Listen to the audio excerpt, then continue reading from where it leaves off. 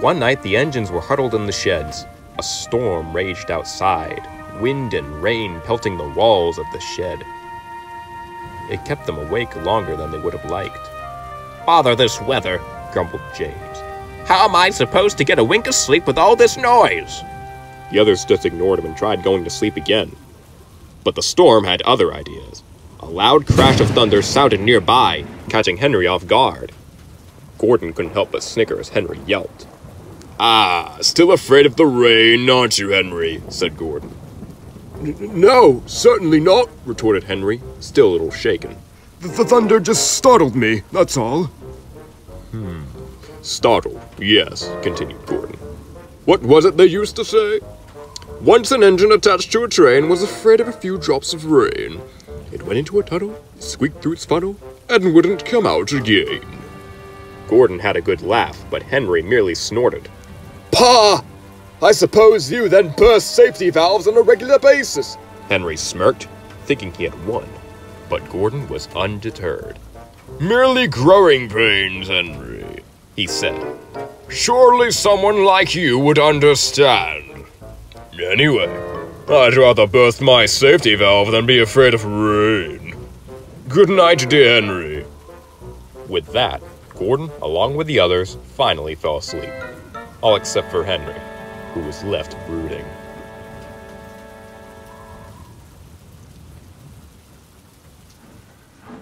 By the next morning, the storm had passed, and Gordon was ready to head out with the express. He glanced at Henry, who was still asleep in his berth. Good morning, Henry, he said. Still asleep, are you? The sun's out, there's nothing to be afraid of now. Henry opened a sleepy eye. Oh, is that so, eh? Yawned Henry. What a shame. I was hoping you'd be able to take my goods later. Gordon spluttered, but before he could retort, Henry closed his eye and went back to sleep. Disgraceful! Gordon fumed to himself as he made his way to the station. When he got there, Percy was shunting his coaches into position. Gordon was still grumpy as he backed down onto his train. I swear, Percy, he said. The world's gone mad. You mean it hasn't already? said Percy innocently. Don't be funny, Gordon snapped. Engines nowadays, especially Henry, are afraid of things that shouldn't bother us. Well, that's not fair, Gordon, huffed Percy. There are lots of things that can be scary, especially at night. Gordon scoffed dismissively. Maybe to you less important engines, but there's nothing I'm afraid of. Where would I be if I was afraid of a clap of thunder? Before Percy could answer, Gordon blew his whistle and rumbled out of the station. Huh. Thunder can be scary, Percy pouted.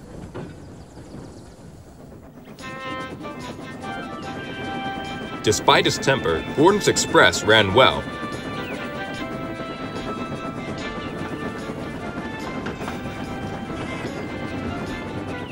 and they were even early to Crovan's gate.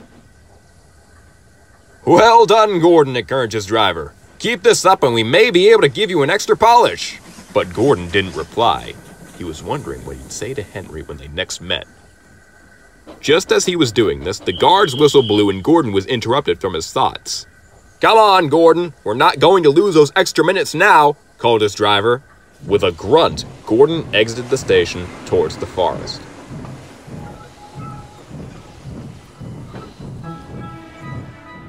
As expected, the thunderstorm had caused some damage to the forest, so Henry was assisting Harvey and the workmen in clearing up any wreckage.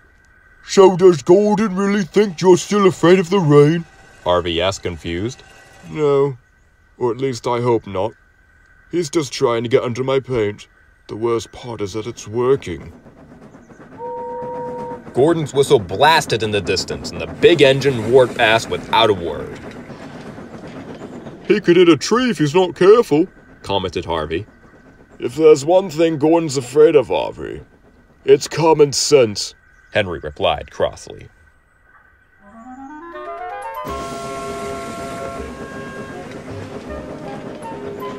Gordon hadn't gone really far when he noticed an obstruction on the line ahead. Driver brakes! he cried.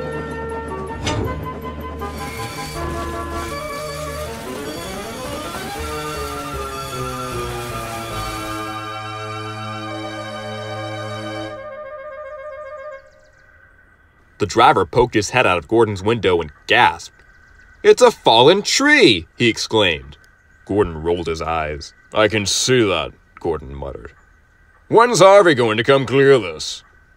I'm afraid I have no idea, Gordon, said his driver. I expect he's still down the line. I suppose we're losing those minutes after all, the driver chuckled. Gordon snorted and fell silent. He spotted a blue butterfly flying from flower to flower. The butterfly seemed to have spotted him, too, and started coming closer. Gordon took little notice at first until the butterfly landed right on his nose. Looks like you made a new friend, Gordon, the driver remarked. Gordon was too focused on the butterfly on his face to hear him. He had seen many before, but never this up close. Curiously, the butterfly started crawling up his nose until it was just beneath his eyes. Get it off! Get it off! He shouted, jolting backwards into his express coaches. His crew were knocked off balance as Gordon reversed down the line. The butterfly, seemingly undeterred by the shrieking engine, started slowly following him. The workmen were almost done clearing a section of the forest, but Harvey was anxious. Do you think Gordon's all right? He asked for the umpteenth time. Before Henry could answer, Gordon's express coaches came into view. Then Gordon. Well, there's your answer, Henry huffed. Gordon backed down alongside, panting. Henry gasped, immediately forgetting his grievances. Gordon? he said. What's the matter? What happened? Words tried coming from Gordon's mouth, but he was too frightened to properly reply. Then Harvey looked ahead and noticed a butterfly in the distance. Oh, look at that! It has the same color as you, Gordon! Harvey laughed. Gordon froze and his face paled. Henry and Harvey looked at each other. Uh, Gordon, said Harvey. You do know butterflies are harmless. Oh, it's lucky you got away in time, Gordon, Henry interrupted, winking at Harvey. Those things are horribly dangerous, I would know. D dangerous? Gordon stuttered. The butterfly came closer, looking ready to land on Gordon again. Gordon began to scream, and in a cloud of steam, he raced away even faster than before. As soon as Gordon was gone, Henry burst into laughter, leaving Harvey respectfully silent. The butterfly taking interest in Henry, landed on his lamp.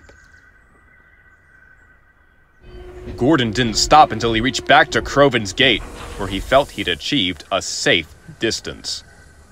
Some of his passengers went onto the platform to complain, but Gordon didn't hear them.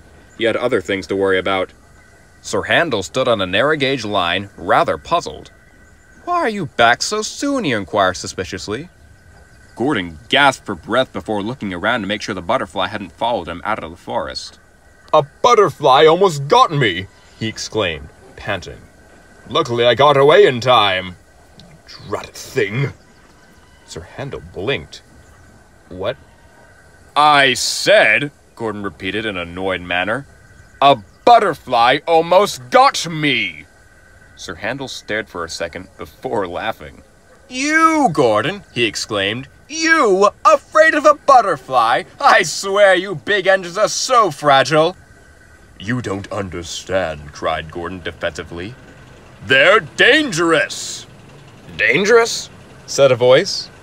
Gordon and Sir Handel looked over to see Rusty pull in with his maintenance train. We see butterflies all the time on our little line, Rusty continued, and they've never once done any harm. Uh, are you sure? asked Gordon. Of course. In fact, I saw one this morning and I'm still here in one piece. Gordon gaped in stunned silence before gritting his teeth in fury. Henry!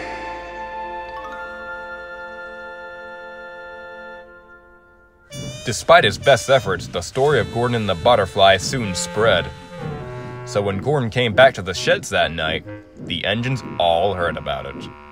So there's nothing you're afraid of, Gordon, eh? smirked Percy. Except forest animals, James chuckled. Gordon backed into his berth and sat quietly, pretending not to hear the others joking.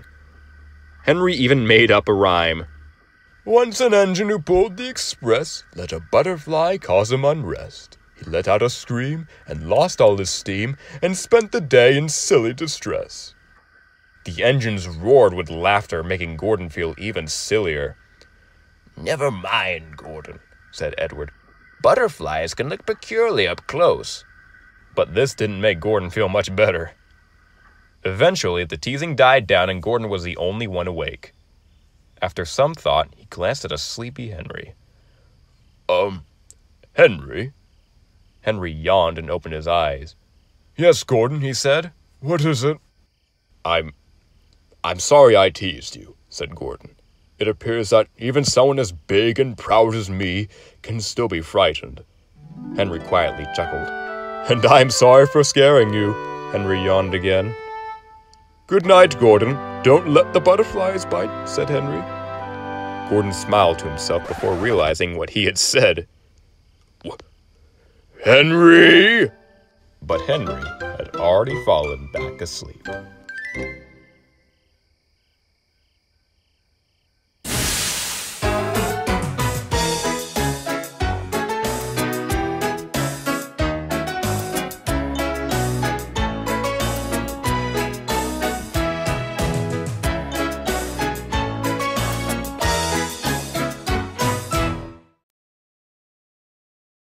After some thought, he glanced over at a sleepy Henry.